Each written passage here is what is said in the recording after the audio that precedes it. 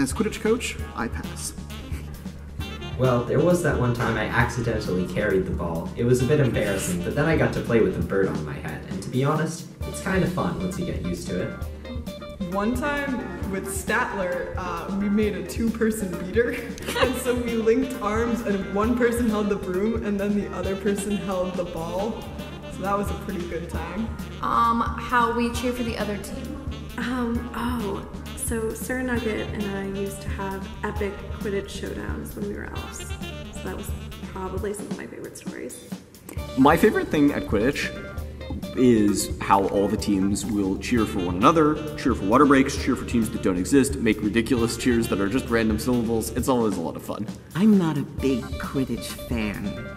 I find that it is a little bit of avian um, duplicity to be chasing around a winged thing.